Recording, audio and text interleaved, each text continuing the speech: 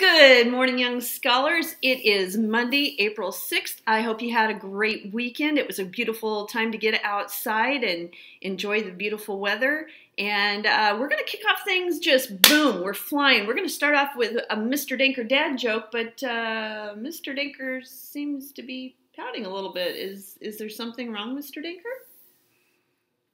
As a matter of fact, there is. As many of you are aware, uh, last Friday, um, my dad jokes were hijacked by Mrs. Denker. And so it's been a long weekend here in the Denker household, and, and I've had to process that, and I've worked through it. And so I'm happy to say that I'm here and ready to go and, and ready to deliver yet another dad joke uh, to all my favorite Lancers out there.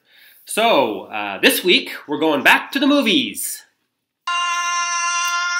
And as you can tell from the music, our joke comes from The Lion King. So one time, Simba was walking a little bit too slow. So I had to tell him to Mufasa. Mufasa. Mufasa. Mr. Denker is back in in rare form, isn't he, Lancers? Woohoo! Hope you enjoyed this version of Dad Jokes. Back to Mrs. Denker. All right, Lancers, the first thing that we are going to do is we're going to go over our answers from last week with our grammar. Remember, we had the sentence, they usually met for dinner on Friday or Monday night, and for the most part, we did a really great job. There were just a couple that we tripped up on. And so I'm going to go through the um, all of the answers. So first of all, they is a pronoun. It takes the place of a noun. So if I had, if I was talking about a group, or if I said members, or if I said um, the classmates, and I wanted to replace them, then I would use a word, a pronoun. So they is a pronoun. Usually, most of you got that one. That is an adverb. Remember that our adverbs usually end in ly. Met is a verb. Very good on that one. I was pleased to see that many of you got for as a preposition. Dinner is a noun. On is another preposition. And then Monday night caused a little bit of a problem because a lot of times we think of Monday as a noun, but in this case, it is being used as an adjective.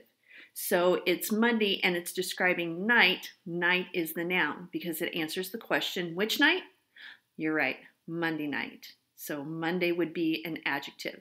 So well done overall on that. Uh, as far as our winners from last week, I picked out three winners. One of them uh, was kind of a multiple winner in some ways. This person was our top point getter for the week. This person also has the uh, most points overall for the first two weeks. And this person turned in three book reviews for last week. And so, winner of one of the gift cards was a Max. Nice job on that, Max. And then the other two winners were drawn out. If you participated in at least three of the activities last week, then you uh, were put into a drawing. And so, the two people drawn out for those gift cards were Ira. Nice job, Ira and Eli P. Good job, Eli. So those three, I will be sending you, uh, mailing you a gift card this week.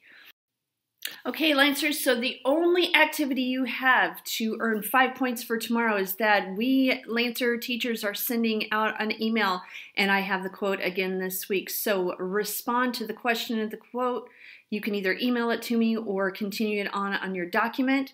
Send that to me and you will earn five points.